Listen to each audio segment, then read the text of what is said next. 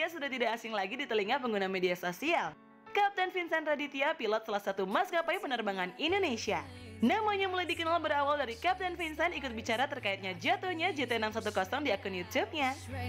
Pria berwajah oriental ini memang sejak kecil sudah menyukai dunia penerbangan. Kapten Vincent dikenal sering membagikan kegiatannya sebagai seorang pilot di akun YouTube pribadinya yang kini sudah memiliki lebih dari 1,2 juta subscriber. Bukan hanya sekedar hiburan, isi konten vlog Kapten Vincent juga bertujuan mengedukasi para penonton untuk mengenal lebih lanjut seputar dunia penerbangan. Seperti apa sosok Kapten Vincent Raditya? Bagaimana pengalaman Kapten Vincent dalam menjalani profesinya sebagai seorang pilot sekaligus YouTuber? Saksikan selengkapnya sesaat lagi hanya di Pagi-Pagi Pasti Happy. Yeah, let's pretend like it's 98. Like I'm eating lunch off a styrofoam. Ya, Oke. sebelum kita berbincang-bincang dengan Vincent Raditya, kita lihat dulu nih ada artikelnya ya. Vincent Raditya jadi pilot dengan subscriber terbanyak. Kini bisa beli pesawat dari YouTube. Seriously. wow, hebat banget loh bisa beli pesawat dari YouTube. Oke, Benar. emang benar dari YouTube bisa beli pesawat. Beneran, Beneran? beneran. Oke, jadi eh, jadi pilot udah berapa lama? Saya dari tahun 2009, 2009 jadi pilot berarti udah 10 tahun, kurang lebih. udah kurang lebih 10 tahun. Heeh. Terus eh jadi kreator di YouTube udah berapa lama? Ya ceritanya panjang ya. Eh, saya itu 2006 bikin akun YouTube tapi as a viewer ya. Kita nggak Iya. pernah pakai. 2010 kita sebagai co-pilot kita upload eh, cockpit video. Tapi banyak rintangan, cuma satu atau dua, cuma dapat Iya. 20 ribu subscriber tapi saya nggak anggap lah. Nah saya baru mulai aktif kurang lebih 6 bulan, 7 bulan yang Iya. lalu lah, kurang lebih lah. Iya, 6 bulan, iya. 7 bulan yang lalu. Dan tiba-tiba udah jadi 1,2 juta subscriber. sekarang 1,3 setengah. udah. 1,3 setengah. Wow. Nah, emang berapa penghasilan dari YouTuber bisa sampai beli pesawat? Katanya benar- benar-benar eh, 100% beli pesawat itu dari penghasilan dari YouTube. Betul. Di Oke, sana gimana? kan mulai dari AdSense, eh, lalu di dalamnya kan juga ada yang mungkin saya nggak bisa sebutkan di sini ya kita semua tahu lah ya. Eh, dari Instagram, dari YouTube ya ini semua dikumpulkan. Memang ini nggak saya apa-apain, nggak saya campur uangnya dari sini Ditabung. ditabung, nggak diapa-apain. Iya, Kita beli pesawat. iya. Berapa beli pesawat tuh? Nah itu kita rahasiakan. Rahasia. Enggak, masalahnya masalahnya bos mau beli. iya, buat ngangkut dulu. Sebenarnya sih ya beli pesawatnya mah mungkin bisa. Malesnya tuh bayar pegawai sama parkir. Lu kan gak bisa nyup nyupir pesawat ini, dia mah pilot. Gue vale lah. Iya, iya. Oke, ada video kapten yang lagi viral banget kita lihat nih. Check this out. Oke, sekarang kita akan terbang. In case of emergency, pintunya ngebukanya ini ditarik. Kalau sampai saya tidak sadarkan diri, silahkan keluar buka di sana. Ready? Sekarang dia pakai headset, nggak bisa bisik-bisik. Kita lihat nanti. nah sekarang kita kebetulan terbang, boleh diizinkan terbang di 1500 kaki nih. Nanti di sana kita akan coba climb 2000 kaki. Tapi ya, saya mau memberikan kena, pengenalan sedikit mengenai G-Force. G-Force itu seperti ini loh.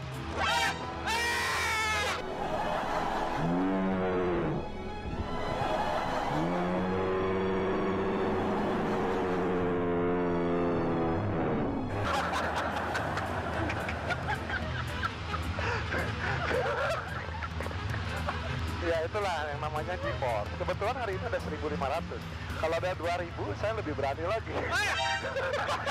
keluar suara, keluar suara kan? Belum selesai.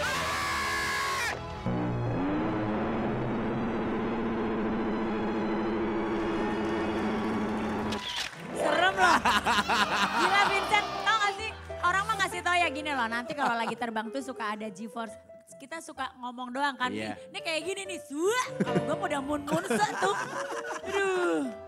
Jadi kalau G-Force tuh itu apa sih judulnya coba? Iya. Nah, Itu sebenarnya gravity force yang dinamakan dengan gravitasi. Kita berdiri sekarang di sini kita tinggal di 1G. Satu kali gravity force. Iya. Artinya berat badan kita misalnya 70 kg, berarti yang kita rasakan adalah 70 kg.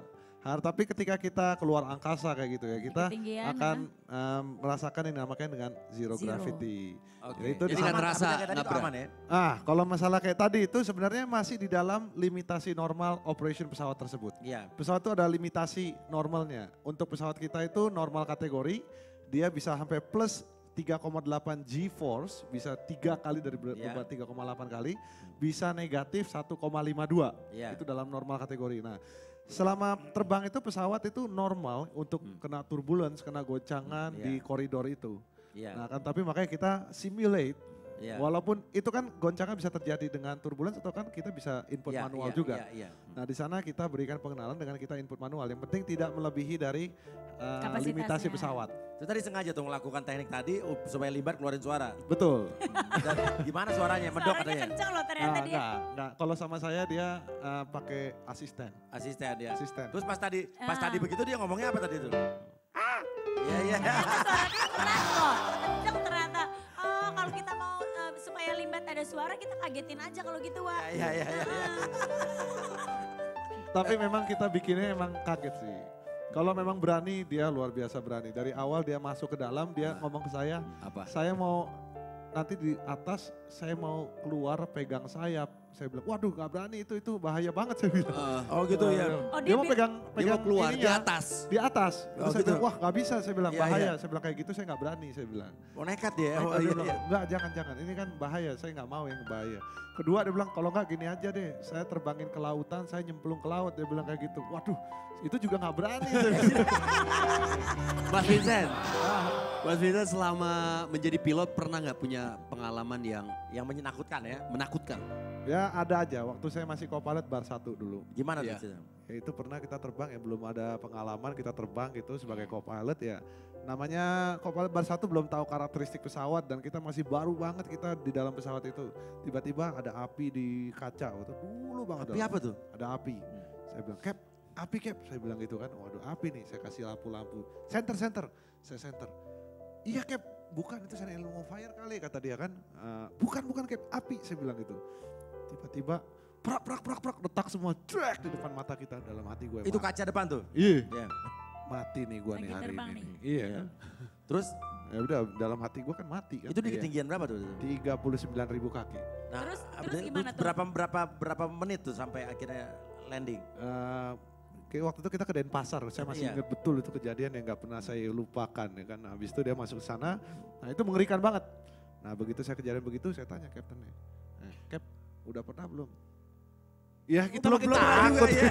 Jadi belum punya pengalaman. Iya, oh, Nah setelah itu, setelah itu, Ya, setelah itu landing. Ah, iya, di- Berapa akhirnya lama dari waktu- retak itu sampai landing? Ah. Biasa dari top of descent itu kita 30 menit lah sampai ke darat. Tapi selamat dan semua Selamat. begitu keluar pramugarinya kaget waktu itu.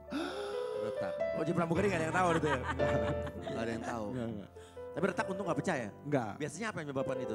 Ya itu arcing bisa bermacam-macam ya. Bermacam-macam arcingnya. Apa, apa sebetulnya yang paling penjelasan la- rasionalnya? Ya kalau misalnya dia kena apa namanya dia kan vulnerable banget kalau misalnya dia nggak dipanasin ya, pa- panasnya rusak ya itu jadi gampang retak biasanya.